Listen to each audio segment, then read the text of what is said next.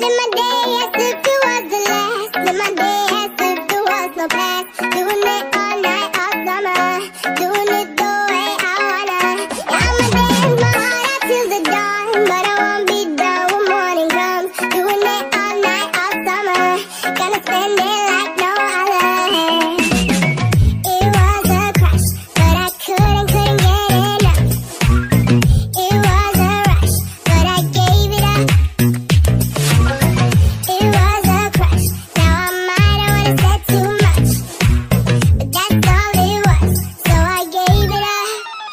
in my day.